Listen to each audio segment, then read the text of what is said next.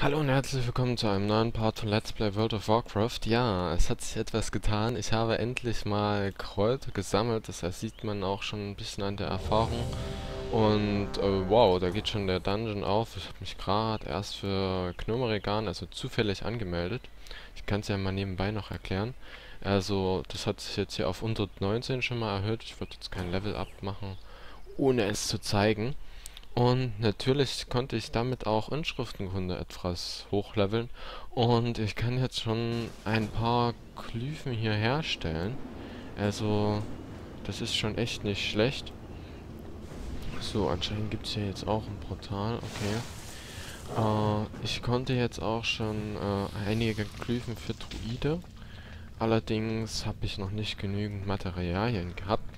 Ich habe auch erstmal für ein paar andere Klassen was hergestellt an Kuchen und die im AHA angeboten und damit kann man sich zumindest als äh, ja, niedrigstufiger oder wenn man halt hier irgendwie neu anfängt, echt gut Geld verdienen, denn äh, ich habe jetzt wohl hier zwei Glyphen so um die 100 Gold schon verkauft, also damit ist das hier ein Kinderspiel, meine Sachen dann zu kaufen. Und das hat halt wahrscheinlich den Hintergrund, weil viele sich dann die Tinten für eine höhere Tinte holen. Und ähm, der Tank ist rausgegangen, jetzt nachdem er hier alles gepult hat. Also, hm, das hatte schon echt gut gemacht. Ja, er ist äh, vorgelaufen und hat alles gepult. Und danach ist er halt rausgegangen. Hm? Kann man jetzt machen. Muss man nicht unbedingt. So. Das heißt, wir gehen einfach wieder rein und suchen einfach einen neuen Tank. Ja, ich habe auch ein bisschen Wollstoff zum Beispiel verkauft, also für irgendwie 19 Gold das Stack. Wenn ich das dann hier raushole, ähm, bin ich dann reich.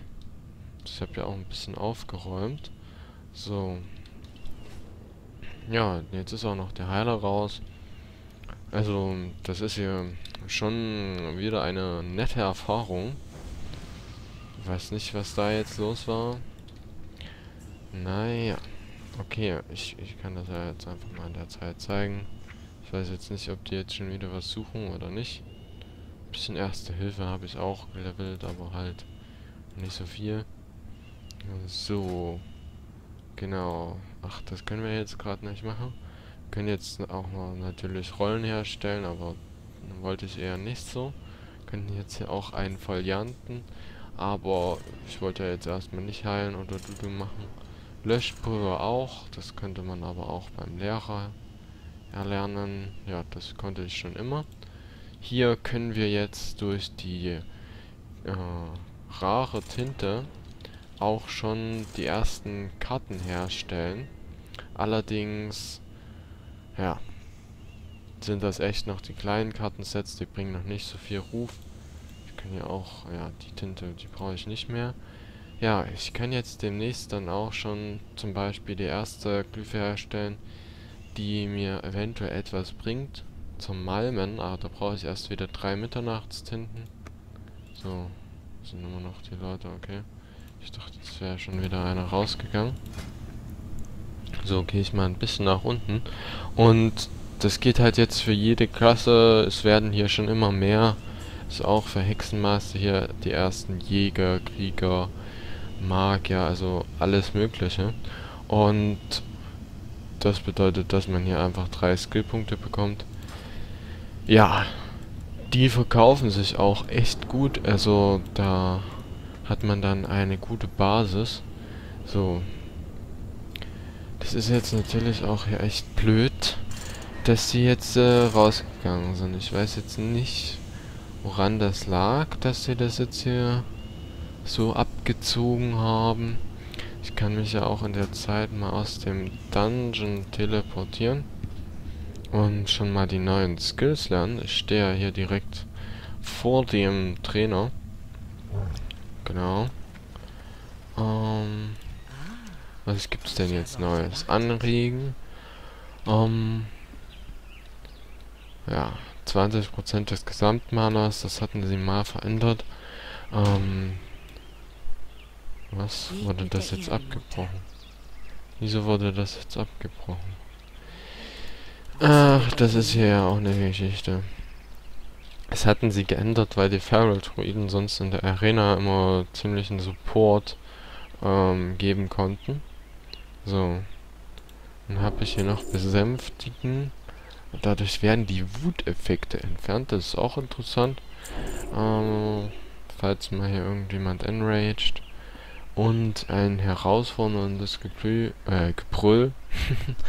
das ist einfach ein AOE-Spot. Stufe 30 gibt es dann auch mal der Wildnis. Das ist echt interessant dann. So. Kann ich jetzt hier, äh... Ach, wie war denn das jetzt hier? Ich muss äh, neue Leute suchen. Ähm, jetzt muss ich hier eine ähm, Ausschlusswahl machen. Mhm. Mhm. Also der ist jetzt offline und ich kann den nicht entfernen, aber wenn ich jetzt hier rausgehe, dann habe ich, glaube ich, wieder einen Cooldown auf die Suche. Und das wäre blöd. Jetzt muss ich hier warten, bis ich den rauswerfen kann, oder was? Ja, ich kann ja mal zeigen, was ich so eingenommen habe. Also Mage-Glyphe um die 99 Gold und auch für die Kriegerglyphe 170 Gold NP. Ja, für den Wollstoff zweimal 20 Gold hier. Bin jetzt bei 341 Gold. Also, das kann sich sehen lassen. So, und ich wollte den jetzt eigentlich kicken. Ansonsten muss ich da wirklich rausgehen und es einfach später nochmal versuchen.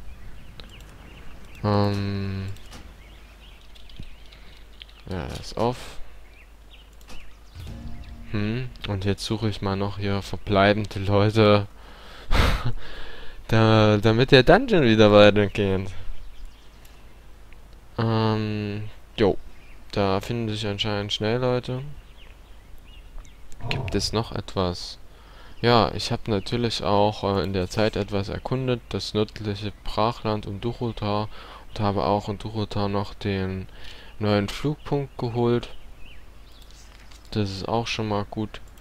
Ja, was habe ich denn jetzt eigentlich? Ja, ich habe hier natürlich auch neue Fähigkeiten und da geht's auch schon los. Okay.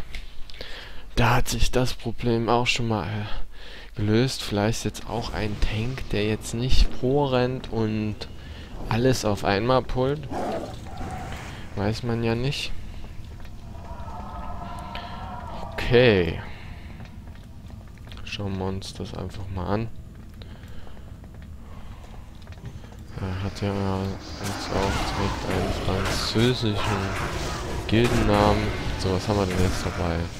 Blutelf Palatin. Tauren Druide als Heiler.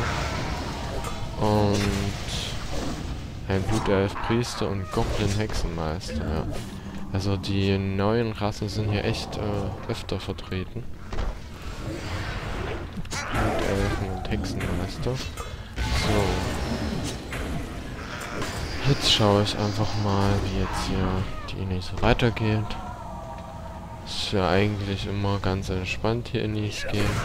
Leider gibt es auch wieder keine Quests. Ich dachte aber, für die Ruhe gibt es hier welche. Also es gab auf jeden Fall mal welche. Aber anscheinend ähm, hat sich das jetzt hier nicht so ergeben. Naja. Äh, ich zeige ja immer gern Inis. So. Hat ja auch anscheinend niemand was von euch dagegen. Von daher, okay. so. Da kann ich den mal noch plündern. Ich glaube, dort hinten gab es auch irgendwas, aber man kann das auch auslassen, das ist optional. Ja, da gab es einen Boss. Es gibt ja jetzt auch die schönen Karten von Blizzard. Also ich finde, das ist echt äh, eine gelungene Neuerung. Die Karten sind übersichtlich und das ist das, was zählt und sie sind auch jetzt nicht irgendwie schlecht, sondern so, man kann es schon anschauen. Und ja, jetzt geht's hier schon die Treppen runter. Äh, zur Zuflucht der letzten Überlebenden Gnome. Die sind uns aber auch freundlich gesinnt. Und da ist er schon Level 30 geworden. Also der ist hier echt hoch für die Inni. So. Kann man auch noch gratulieren eben. Ich finde es aber auch gut, dass zum Beispiel jetzt die restlichen Spieler jetzt so schnell gefunden wurden, dass ich da auch als DD eine Chance habe. Und auch wenn das äh, Belohnungssystem für Heiler und Tanks ist es ja meistens erst ab äh, 85 ist, äh, funktioniert das super. Ja,